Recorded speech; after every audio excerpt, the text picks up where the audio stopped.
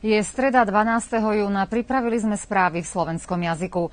Príslušníci ministerstva vnútra v Starej Pazove chytili 41-ročného NR z dôvodu podozrenia, že sa dopustil trestného činu vydierania. Vyšetrovatelia predpokladajú, že podozrivý viackrát navštívil nemenovaný lokál v Starej Pazove a od majiteľa pod nátlakom a vyhrážkami požadoval vyplatenie sumy 2000 eur.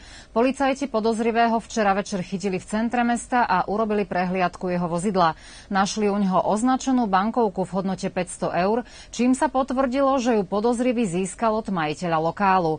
NR je vo väzbe dočasného zadržania, po ktorom bude vypočutý na základnej verejnej prokuratúre v Starej Pazove.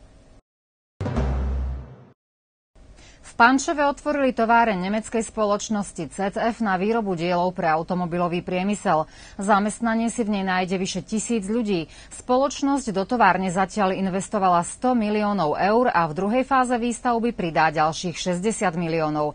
Ide o jednu z najväčších investícií v tejto oblasti a predseda hospodárskej komory Srbska Marko Čadeš pripomenul, že nemeckí investori v Pančeve stavajú aj vedecko-výskumné stredisko, ktoré zaraďuje Srbsko na svetovú priemyselnú cestovnú mapu v tejto oblasti.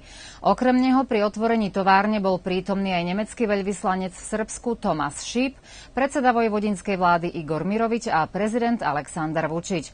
Prezident zdôraznil, že nová továreň prináša do Srbska nielen nové pracovné miesta, ale aj najmodernejšiu technológiu, vďaka ktorej si občania budú rozširovať vedomosti v oblasti mechatroniky a nebudú opúšťať krajinu.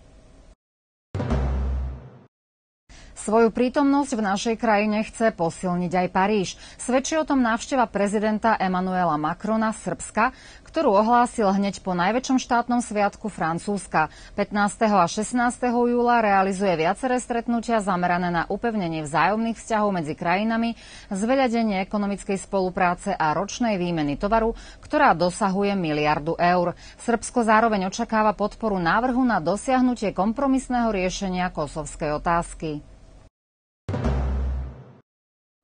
Ministerstvo ochrany životného prostredia Srbska zverejnilo predbežný poradovník 5 miest a obcí, ktoré získajú spolu 18 miliónov dinárov zo Zeleného fondu Republiky Srbsko. Sú určené na zadováženie sadeníc a zalesňovanie autochtónnymi druhmi stromov a krov. Viac ako tretinu prostriedkov dostane Kikinda, 5 miliónov Pančevo a ostatné získajú obce Vrňačka Baňa, Bela Palanka a Šabac.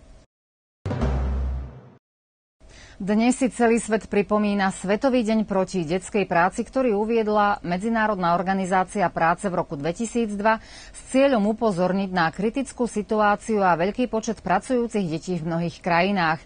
Spomínaná organizácia prijala záväzok bojovať s príčinami detskej práce, aby chránila ich práva. Všetky deti bez ohľadu na pohlavie či ekonomický a etnický pôvod by mali dostať možnosť chodiť do školy a nie do práce a mali by im byť vytvorené podmienky pre plnú plnohodnotný život.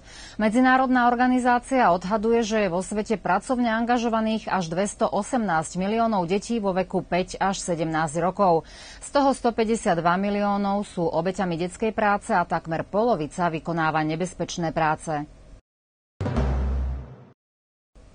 Až vo Švajčiarsku pri meste Ženeva sa v sobotu v galérii Premiér vo svete bude o 15. hodine otvárať samostatná výstava vojvodinského akademického maliara Michala Ďurovku pod názvom Lesy a roviny. Výstava, ktorej kurátorom je výtvarný kritik z Bačského Petrovca Vladimír Valentík, sa realizuje v organizácii Asociácie Centeuro Slovenský pavilon a bude otvorená do 23. júna cieľom podporiť rozvoj inovácií na území obce Stará Pazova inovatívne Startup Centrum v Starej Pazove vypísalo verejný konkurs pre týmy a mladé inovatívne spoločnosti pre potenciálnych užívateľov služieb inovatívneho Startup Centra, ktorí rozvíjajú inovácie, inovatívne výrobky a procesy v oblasti energetickej účinnosti, obnoviteľných zdrojov energie, integrovaného projektovania, elektromobility, rozvoja poľnohospodárstva, IT aplikácií a podobne. Pri prihlášku a všetky detailné informácie záujemcovia nájdu na internetovej stránke Regionálnej rozvojovej agentúry Sriema a termín podávania prihlášok je do 28. júna. Jelena Dekičová, členka Staropazovského klubu Vspieračov jednota, získala zlato a odniesla si aj titul veteránskej šampiónky Srbska za rok 2019 na majstrovstvách Srbska žien veteránok v olympijskom vspieraní, ktoré sa konalo v Pančeve. Dekičová na tejto súťaži vytvorila aj nové národné rekordy v súťažných disciplínach trh, nadhod a olympijský biatlon.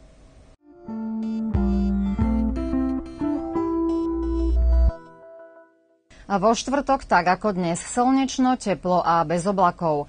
Najnižšia denná teplota 20 a najvyššia až 34 stupňov, preto zvýšte opatrnosť. Slabý vietor pocítime z juhovýchodu.